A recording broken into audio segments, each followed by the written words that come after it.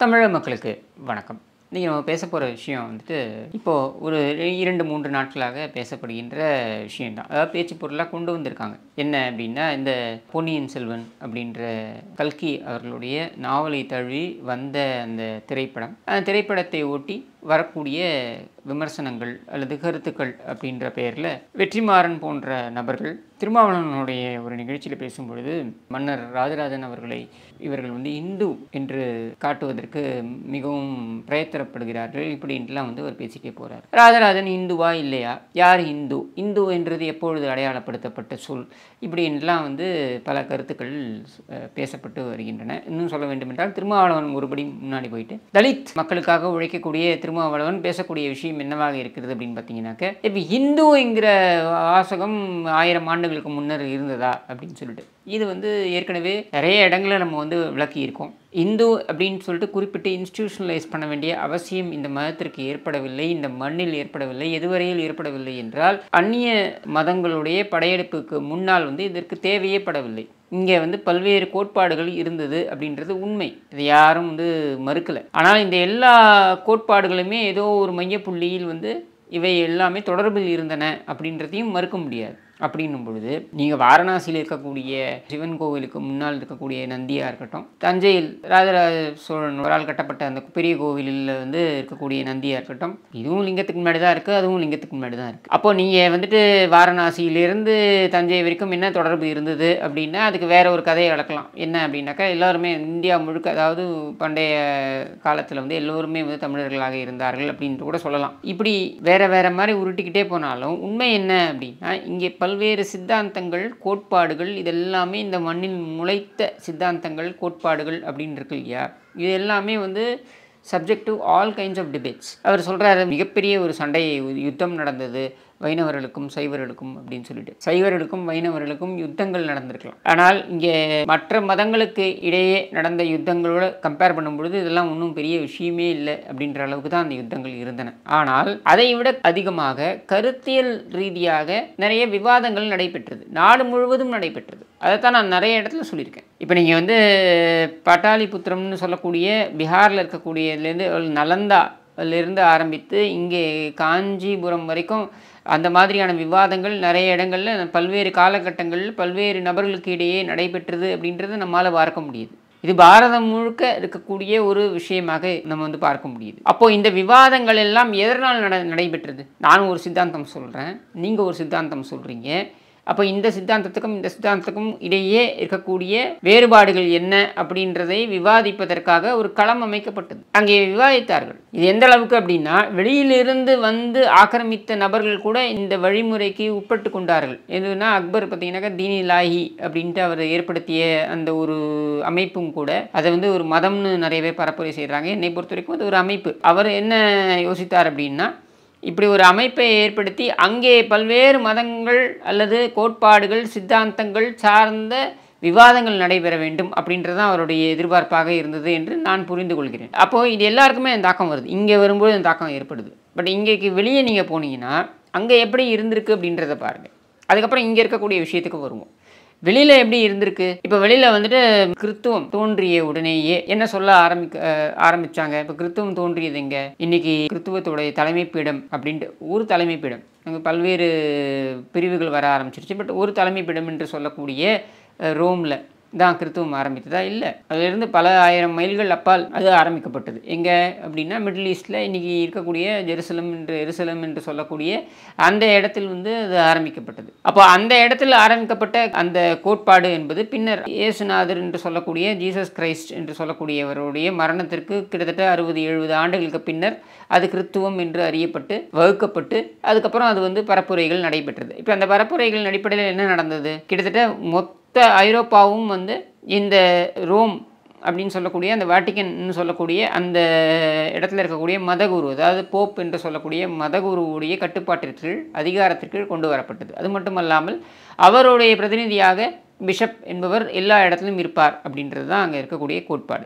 இப்போ பிஷப் என்பவர் எல்லா இடத்துலையும் இருப்பார் அப்படின்னும் பொழுது இந்த போப் சொல்லக்கூடிய விஷயங்கள் தான் அரங்கேற முடியும் அப்படின்னு இருந்த ஒரு காலகட்டம். ஏ எந்த அளவுக்கு அப்படின்னா திருமண பந்தம் கூட. ஒரு மன்னர் நான் சொல்கிறது சாமானியனை விட்டுருங்க. ஒரு மன்னர் திருமண பந்தத்தை ஏற்படுத்தி கொள்ள வேண்டும் என்றாலும் கூட அதற்கு முன் அனுமதியை இவரிடம் பெற வேண்டும் இந்த போப்பிடம் பெற வேண்டும் அப்படின்ற ஒரு காலகட்டம் இருந்தது. அப்போ அந்த காலகட்டத்தை உடைக்க வேண்டும் என்பதற்காக ரிஃபார்ம்னு கொண்டு வந்தாங்க சீர்திருத்தம்னு கொண்டு வந்தாங்க. அப்போ அந்த சீர்திருத்தம் என்பது எப்படி கொண்டு வரப்பட்டது அப்படின்றத கூர்ந்து கவனிக்க வேண்டும். சீர்திருத்தம் என்பது இப்போ நீங்கள் இங்கே பேசக்கூடிய நபர்கள்லாம் பேசுகிறாங்களே பகுத்தறிவு நாங்கள் சனாதனத்தை ஒழிப்போம் அழிப்போம். அங்கேயும் அந்த மாதிரியான சீர்திருத்தம் பேசப்பட்டது. ஆனால் அந்த சீர்திருத்தம் எப்படி நிகழ்ந்தது அப்படின்னு பார்த்தீங்கன்னா போப்போடைய அதிகாரத்திலிருந்து அதாவது அவர் வந்து பிஷப்னு ஒருவர் வைப்பார் அவர் முழு அதிகாரத்துடன் இருப்பார் என்பதனை உடைக்க வேண்டும் என்பதற்காக இவங்க என்ன பண்ணாங்க? இங்கிலாந்தில் மன்னர் ஹென்றி எட்டாம் ஹென்றி அவர் இருந்த பொழுது அவர் திருமணம் செய்து கொள்வதற்காக அவர் இரண்டாவது இல்லை மூன்றாவது திருமணம் செய்து கொள்ள வேண்டும் என்பதற்காக இந்த அனுமதியை கோரிய பொழுது அனுமதி மறுக்கப்பட்டது என்ற காரணத்தினால அவர் அந்த சர்ச்சிலிருந்தே உடைத்து கொள்கிறார் உடைத்து கொண்டு அவர் பிரகடனப்படுத்துகிறார். என்ன பிரகடனப்படுத்துகிறாரு நாங்கள் வந்து ஏற்கனவே இருந்த மார்ட்டின் லூதர் கிங் இந்த மாதிரியான Martin Luther Martin Luther King இல்லை மார்ட்டின் லூதர் இந்த மார்டின் லூதர் கிங்னா இவங்க வந்து இன்னொரு ஒரு மார்டின் லூதர் கிங் அமெரிக்காவில் இருந்தார். அவரோட குழப்பிக்காங்க மார்ட்டின் லூதர் என்பவர் அங்கே இருந்தார். இந்த மாதிரியான ஒரு நபர்களுடைய சீர்திருத்த எண்ண ஓட்டத்தை நாங்கள் அரவணைக்கிறோம் அப்படின்னு சொல்லி இவங்க அரவணைக்கிறாங்க. எதுக்காக அரவணைக்கிறாங்க? இவங்களுடைய தனிப்பட்ட தேவை மன்னருடைய தனிப்பட்ட தேவை அவருக்கு பிடித்தமான ஒரு பெண்ணை திருமணம் செய்து கொள்ள வேண்டும். அது இரண்டாவது திருமணமாக செய்து கொள்ள வேண்டும் அல்லது மூன்றாவது திருமணமாக செய்து கொள்ள வேண்டும்.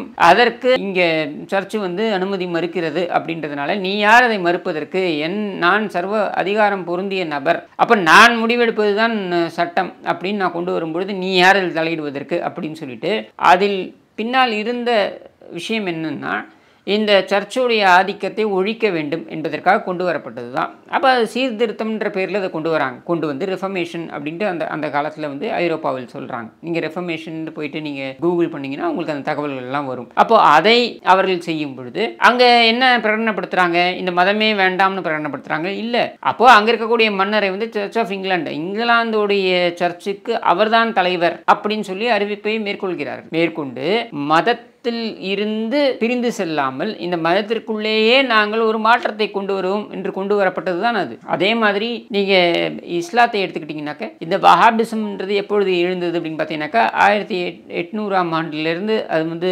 எழுகிறது. அப்போ அங்கே ஒரு சீர்திருத்தவாதியும் அதாவது மிடில் ஈஸ்ட்னு சொல்லக்கூடிய சவுதி அரேபியா இருக்கக்கூடிய அந்த பகுதியில் இருக்கக்கூடிய ஒருவரும் இங்கே இந்தியாவில் இருக்கக்கூடிய ஒருவரும் தான் அதாவது இந்திய துணைக்கண்டத்தில் இருந்த ஒருவரும் தான் அந்த சீர்திருத்தத்தை கொண்டு வராங்க அந்த வஹாபிசம்னு கொண்டு வராங்க அதாவது கிறித்துவம் முன்னோக்கி செல்கிறது.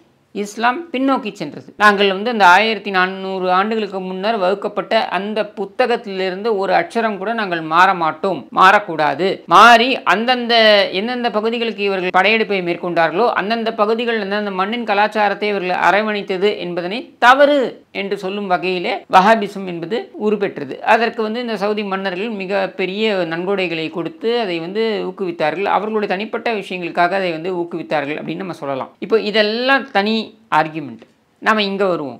இப்போ இந்தியா எடுத்துக்கிட்டிங்கன்னா இந்த இந்திய துணை கண்டம் எடுத்துக்கிட்டிங்கனாக்கா இங்கே இருக்கக்கூடிய மத கோட்பாடுகள் சடங்குகள் இங்கே இருக்கக்கூடிய வரலாறு இதையெல்லாம் எடுத்துக்கிட்டோம்னாக்க பல உதாரணங்களை நம்மளால் சொல்ல முடியும். இங்கே இருக்கக்கூடிய மன்னர்கள் எல்லோரும் இந்த சனாதன தர்மம் அப்படின்றதை தர்மம் அப்படின்றது ஒரு வழிமுறை. மதம் என்பது ஒரு இன்ஸ்டியூஷன் அப்படின்ற மற்ற இடங்கள்லாம் இருந்தது. பட் இந்த மண்ணை பொறுத்த வரைக்கும் மதம் என்ற கான்செப்டே கிடையாது. இங்கே சனாதன தர்மம் தான். வாழ்க்கை முறை தான். அதை தான் நான் பல இடங்களில் நான் சொல்லியிருக்கேன். இப்போ நீங்கள் வந்துட்டு நரகம்ன்ற கான்செப்ட் எடுத்துப்போமே. ஹெல் நரகம்ன்ற கான்செப்ட் எடுத்துப்போம். நாம் இந்த மண்ணில் சொல்லக்கூடிய நரகம்ன்ற கான்செப்ட் அது ஜைனமாக இருக்கட்டும் பௌத்தமாக இருக்கட்டும் சீக்கியமாக இருக்கட்டும் இல்லை பல்வேறு இந்து மத கோட்பாடுகளாக இருக்கட்டும் இது எல்லாத்துலேயுமே சொல்லக்கூடியது என்ன? நீங்கள் ஒரு தவறை இழைத்தீர்கள் என்றால் நீங்கள் நரகத்திற்கு செல்வீர்கள் அப்படின்றது தான் வந்து நரகம்ன்ற கோட்பாடு. ஆனால் இந்த மண்ணிலிருந்து வெளியிலிருந்து வரக்கூடிய மத கோட்பாடுகள் என்ன சொல்கிறது அவர்களுடைய கடவுளை நீங்கள் நம்பவில்லை என்றாலே நீங்கள் நரகத்திற்கு செல்வீர்கள். நீதி வந்து உரைக்கப்படும் நாள் அப்படின்னு ஒன்று சொல்லுவாங்க கிறித்துவர்கள் அதைத்தான் இஸ்லாமும் சொல்கிறது. இவரெல்லாம் என்ன சொல்கிறார்கள்? எங்கள் கடவுளை நீங்கள் நம்பவில்லை என்றால் நீங்கள் நரகத்துக்கு செல்வீர்கள். நீங்கள் ஐந்து முறை உங்கள் காதில் வந்து ஓதுறாங்க இல்லையா? ஒரு ஒரு மசூதியிலேருந்து ஐந்து முறை உங்கள் காதில் ஓதுறாங்க பாருங்க. என்ன சொல்கிறாங்க ஒரு ஒரு நாளும்? எங்கள் கடவுளை விடுத்து வேறு எந்த கடவுளும் உயர்ந்தவன் இல்லை. இதைத்தான் வந்து ஐந்து முறை உங்களுடைய காதில் வந்து ஓதுறாங்க. இப்போ அவங்க அந்த நம்பிக்கையை வைத்துக் கொள்வதே உள்ளபடியே நம்ம எதிர்க்கிறோம்னா நம்ம எதிர்க்கல. ஆர்டிகல் டுவெண்ட்டி ஃபைவ் அவங்களுக்கு அந்த உரிமையை கொடுக்கிறது. உங்கள் நம்பிக்கை எதுவாக வேண்டுமானாலும் இருக்கலாம். ஆனால் உங்கள் நம்பிக்கையை என் மீது திணிப்பது தான் இங்கே பிரச்சனை. அந்த திணிப்பது அப்படின்றது தான் நீங்கள் ஐந்து முறை ஓதுகிறீர்கள். இப்போ இது மாதிரியான ஓதுதலை இந்து மதம் செய்கிறதா என்றால் இல்லை. அப்போ இது ஏன் இந்து மதம் கிளாசிஃபிகேஷன் கொடுக்கணும்னா இது கிளாசிஃபிகேஷன் கொடுக்க வேண்டிய அவசியம் எங்கிருந்து ஏற்படுகிறது என்றால் வெளியிலிருந்து ஒரு சில மதங்கள் இங்கே வரும்பொழுது அவை மதம் என்று கோட்பாடுகளுடன் அவை அமையும் பொழுது இங்கே இருக்கக்கூடிய நம்பிக்கை அப்படின்றதை பாதுகாக்க வேண்டும் என்றால் அதற்கு மதம் என்ற ஒரு அடையாளத்தை கொடுக்க வேண்டிய அவசியம் ஏற்படுகிறது. நியாயமா அந்த அவசியம் ஏற்பட்டிருக்காது. ஜைனமோ பௌத்தமோ சீக்கியமோ இல்லை பிற கோட்பாடுகளோ இந்த மாதிரி வந்து தனிமைப்படுத்தலை. சொல்லலை. நீங்கள் வந்து இந்த மதத்தை நம்பவில்லை என்றால் நீங்கள் நரகத்துக்கு போவீர்கள்னு அவங்க சொல்லலை. இந்த நம்பிக்கையை நீங்கள் வைக்க வைக்கவில்லை என்றால் நீங்கள் நரகத்திற்கு போவீர்கள் என்று அவர்கள் சொல்லலை. அட்லீஸ்ட் பிரகடனப்படுத்தி அதை நாளொரு மீனியும் ஒரு மனமாக உங்கள்கிட்ட சொல்லலை. அப்போ இங்கே இருக்கக்கூடிய இந்த வழிமுறையை பாதுகாக்கணும்னா இதுக்கு ஒரு அடையாளம் கொடுத்தானே ஆகணும். ஏன்னா வெளியிலேருந்து ஒரு சில கோட்பாடுகள் இங்கே வந்துருச்சு. இப்போது நாட்டுக்கோழி இருக்குது அதே நாட்டுக்கோழின்னு சொல்கிறோம் கோழி. அதுக்கு முன்னாடி நாட்டுக்கோழின்னு சொல்லிட்டு இருந்தோமா? இல்லையே. பிராய்லர் கோழி வ வந்ததுக்கு அப்புறம் தான் இது நாட்டுக்கோழி இது பிராய்லர் கோழி அப்படின்னு சொல்லியிருந்தோம். கோழின்னு தான் நம்ம சொல்லிட்டு இருந்தோம். அது மாதிரி கோழியிலேயே பல்வேறு வகைகள் பல்வேறு இடத்துல நாடு முழுக்க இருக்கலாம். ஆனால் வெளியிலிருந்து தயாரிக்கப்பட்ட ஒரு சித்தாந்தம் உள்ளே வரும்பொழுது இதை அடையாளப்படுத்த வேண்டிய ஒரு இடத்திற்கு தள்ளப்படுகிறோம். இன்னும் ரொம்ப சர்வசாதாரணமாக வந்து நான் உங்களுக்கு புரிகிற மாதிரி சொல்கிறேன் நான். இங்கே இருக்க கோட்பாடுகள் என்ன அப்படின்ட்டு. இங்கே பேசக்கூடிய பகுத்தறிவுவாதிகள் கேட்கக்கூடியது நீ ஏன் அதை நம்புகிறேன் நீ ஏன் இதை நம்புகிற அப்படின்னு சொல்லிட்டு. இதை இன்னும் ரொம்ப சாதாரணமாக நான் கேட்குறேன். எது வந்துட்டு மூட நம்பிக்கை எது வந்துட்டு சரியான நம்பிக்கை அப்படின்றதுக்கே நம்ம போவோம். இப்போது ஒரு சாதாரணமாக ஒரு கடை ரங்கநாதன் தெருவில் ஒருத்தர் ஒரு கடையை ஆரம்பிக்கிறாருன்னு வச்சுப்போம் ஒரு அண்ணாச்சி வந்து கடையை ஆரம்பிக்கிறாருன்னு வச்சுப்போம் இப்போ அவர் ஆரம்பிக்கிறார். அவர் ஆரம்பிக்கும் பொழுது அந்த கடையில் வந்து ஒரு சாதாரண ஒரு நான்கு ஐந்து ரேக்குகளில் வச்சுட்டு பாத்திரங்களை எடுக்கிறார். அவர் வாங்கி வந்த பாத்திரம். நீயே ஹோல்சேலில் வாங்கிட்டு வந்திருக்காரு. இந்த பாத்திரங்களை எடுக்கிறாரு. அவர் என்ன பண்ணுறாருன்னா அந்த கடையை திறந்து வைக்கிறாரு. திறந்து வச்ச உடனே அவர் சாமி கும்பிடணும். அப்படின்னு சொல்லிட்டு அங்கே ஒரு பூஜையை ஒன்று போட்டு இதை ஆரம்பிக்கிறார். உடனே இந்த கடைக்கு கஸ்டமர்லாம் வர ஆரம்பிக்கிறாங்க. இப்போ இந்த கஸ்டமர் நிறைய பேர் வந்து இவர் எதிர்பார்த்தது ஒரு ஒரு நாளைக்கு ஒரு நாலு பாத்திரம் விற்று போகும். நமக்கு ஏதோ ஒரு கைக்கு காசு வரும் அப்படின்ட்டு. ஆனால் ஒரு நாளைக்கு ஐம்பது அறுபது பாத்திரம் விற்று போகுதுன்னு விற்போம் உடனே என்ன பண்ணுறாரு என்னடா அது நம்ம வந்து சும்மா ஏதோ கடைய ஆரம்பித்தோம் நமக்கு ஆனால் விற்று போக ஆரம்பிச்சிருச்சு. அப்படின்னும் பொழுது இங்கே என்ன ஆகுது? உடனே ஒரு பிள்ளையார் படத்தை வைக்கிறார். இப்போ அந்த பிள்ளையார் படத்தை வச்சுட்டு ஏன்னா பக்கத்தில் இருக்க ஒரு கடை இருக்குது அங்கேயும் அதே பாத்திரம் தான் விற்கிறான் ஆனால் இங்கே வராங்க. அங்கே வரல. அப்போ நம்மக்கிட்ட ஏதோ கூடுதல் திறமை இருக்குன்னு அவர் நினச்சிருக்கணும். ஆனால் நம்மக்கிட்ட எதுவும் கூடுதல் திறமை இல்லைன்றது அவர் தெரிய வருது. ஏன்னா அவர் எதுவும் எக்ஸ்ட்ரா எஃபர்ட் போடல. அவன் எப்படி வச்சிருக்கானோ அது மாதிரி தான் இவர் வச்சிருக்காரு. அவனோட சின்னதாக வச்சிருக்காரு. ஆனால் இவரை தேடி அவன் வரான். இவரை தேடி அவன் வரத்துக்கு கூடுதல் காரணம் இல்லைன்றது அவருக்கு தெரியுது. நீங்களும் நானும் அசஸ் பண்ண வேண்டாம். அவருக்கு தெரியுது. அப்போ அவர் என்ன பண்ணுறாரு உடனே ஒரு பிளேயர் ஃபோட்டோ மாட்டுறாரு. அடுத்து அந்த பாத்திர கடை இன்னும் கொஞ்சம் பெருசாகுது. இன்னும் ஜாஸ்தியாக ஆட்கள் வராங்க. பெறுகிறாங்க ஆட்கள் கஸ்டமர்ஸ் வந்த உடனே என்ன ஆகுது?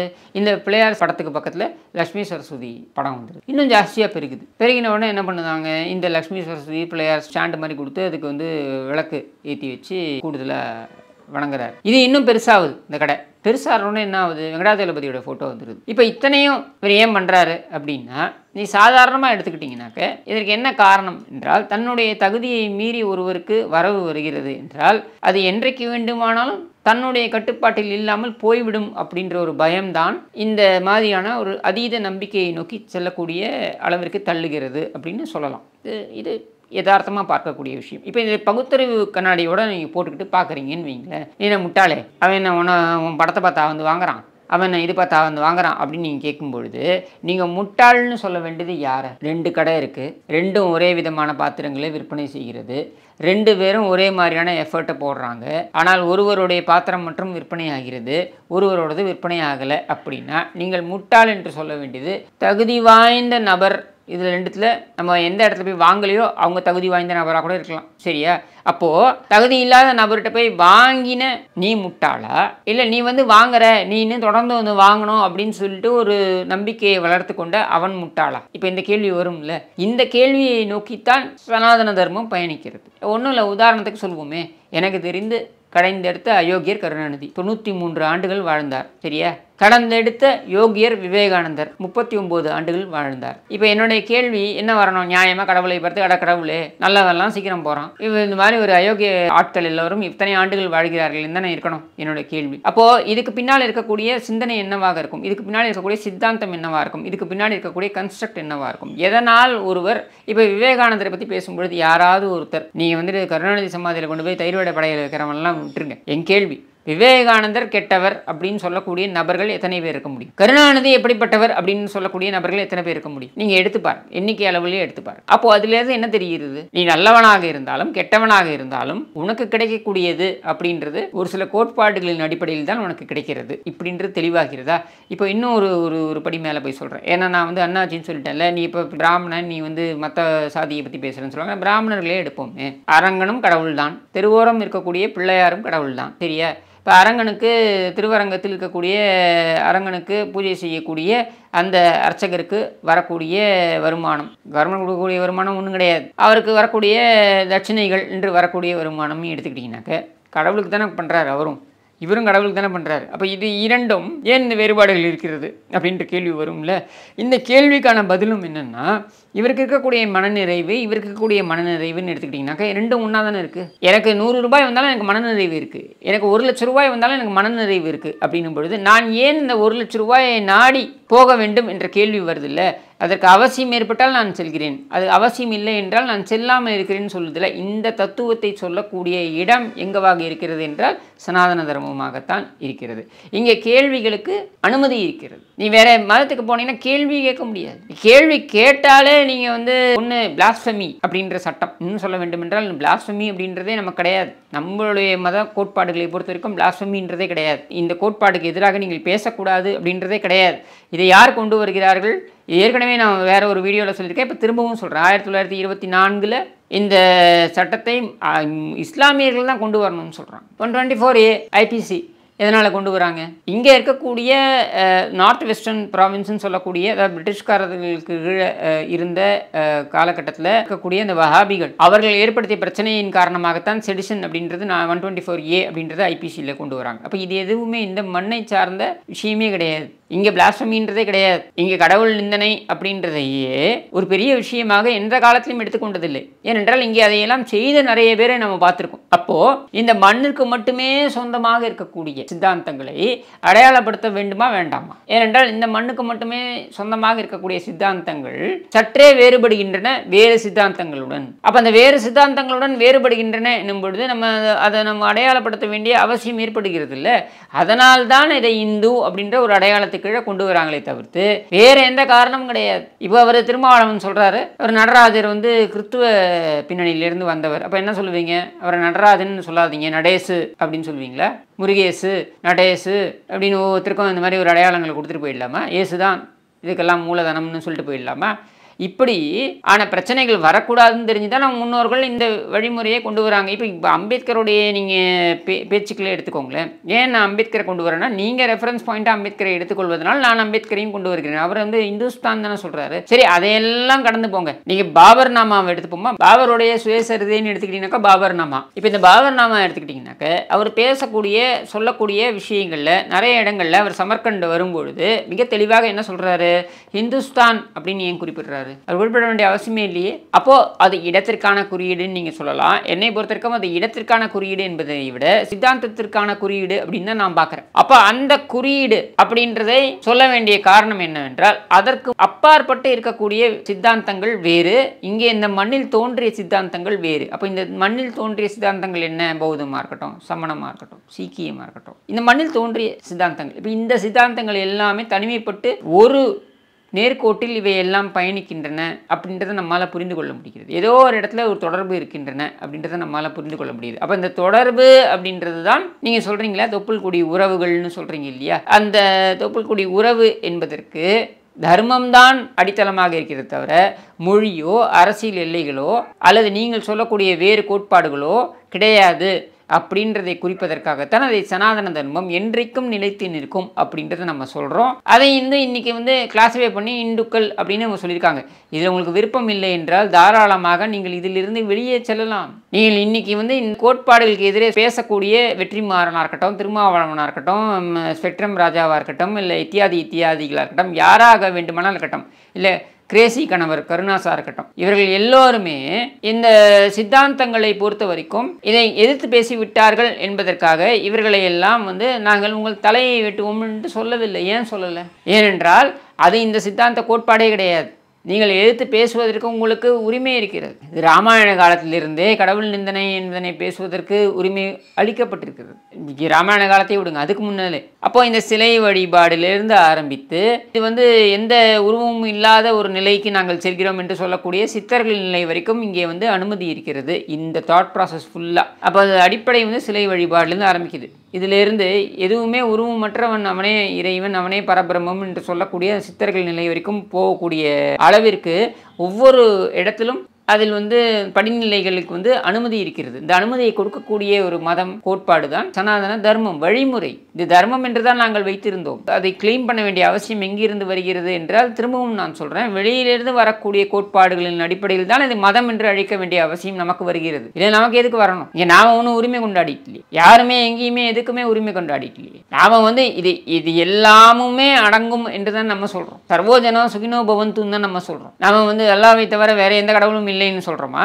அல்லது இயேசுநாதனை நம்பாதவன் எல்லாம் சாத்தான்னு நம்ம சொல்றோமா? இதெல்லாம் நம்ம சொல்றது இல்லையே. அப்போ இந்த இடத்துல இந்த புரிதலை ஏற்படுத்தி கொண்டு விட்டால் அல்லது ஏற்படுத்தி கொண்டிருக்கிறார்கள் பெருவாரியான மக்கள். ஆனால் இதை அங்கீகரித்து விட்டால் அதாவது அதிகாரப்பூர்வமாக அங்கீகரிக்க வேண்டும் அப்படின்ற ஒரு நிலை கடந்த எழுபது ஆண்டுகளாக இல்லாமல் இருந்தது இப்பொழுது துவங்கி இருக்கிறது. அப்போ இது அங்கீகாரம் பண்ணிட்டாங்கன்னாக்க இதுக்கு இவங்க வந்து முக்கியத்துவம் கொடுத்துருவாங்க. நம்முடைய தாட் ப்ராசஸ்க்கெலாம் இவங்க வந்து முக்கியத்துவம் கொடுக்க மாட்டாங்க அப்படின்ற ஒரு பயத்தின் காரணமாக இவர்கள் இதெல்லாம் கிளப்பி விடுகிறார்கள். இதுக்கெல்லாம் கோவப்பட வேண்டிய அவசியமோ பிபி ஏற்றுக்க வேண்டிய அவசியமோ இல்லை. இதுக்கு எல்லாவற்றிற்கும் உரிய விளக்கம் இருக்கிறது. யார் தலையும் வெட்டுவோம் என்று நம்ம சொல்ல வேண்டிய அவசியமே இல்லை. நம்ம சொல்லவும் மாட்டோம். அதையெல்லாம் கடந்தும் இதற்கெல்லாம் விளக்கம் கொடுக்கக்கூடிய அந்த அத்தனை விஷயங்களையும் அம்சங்களையும் கொண்டிருப்பது தான் இந்த இந்து மகா சமுத்திரம் என்கிற இந்த பெருங்கடல். அதனால் இதுக்கெல்லாம் டென்ஷன் ஏற்றிக்காம நிறைய பேர் எனக்கு கால் பண்ணி தான் கேட்குறாங்க என்ன இப்படி பேசிட்டாங்களே? அப்படி பேசிட்டாங்களே? பேசட்டும். இவன் பேசுனதுனால இவன் சொல்கிறதெல்லாம் ரைட்டுன்னு ஆகிடுமா ஆகாது இப்போ நான் பேசுறதுனால நான் சொல்கிறது ரைட்டு நான் உரிய தரவுகளை வைத்து நான் பேசும்பொழுது தான் அதற்கு முக்கியத்துவம் இருக்கும். அப்போ அந்த தரவுகளின் அடிப்படையிலே இவர்களுக்கு பதிலடி கொடுப்பதுன்றது ஒன்றும் பெரிய ஒரு விஷயம்லாம் கிடையாது. அப்போ அந்த அளவு கூட நம்முடைய இந்து மகா சமுத்திரம் சக்தி வாய்ந்தது இல்லை என்றால் இத்தனை தாக்குதல்களையும் ஆயுத தாக்குதலிலிருந்து இன்டலெக்சுவல் தாக்குதலிலிருந்து இன்றைக்கு நடக்கக்கூடிய தாக்குதல் வரைக்கும் நம்ம வந்து தாக்கு பிடிக்கிறோம் அப்படின்னாக்க அது ஒரு பெருங்கடல் என்பதனால் அதிலிருந்து நம் தோண்ட தோண்ட தோண்ட நமக்கு பல்வேறு விஷயங்கள் விளக்கங்கள் கிடைக்கும் என்கிற அரிய பொக்கிஷம் அது அப்படின்றதுனால தான் அதனால இதுக்காக டென்ஷன் எடுத்துக்கிட்டு வருந்த வேண்டிய அவசியம் நமக்கு கிடையாது. இன்னும் வீரியத்துடன் இதற்கான விளக்கங்களை நாம் கொடுத்து கொண்டே இருப்போம் என்று கூறிக்கொண்டு விடைபெறுகிறேன். வணக்கம்.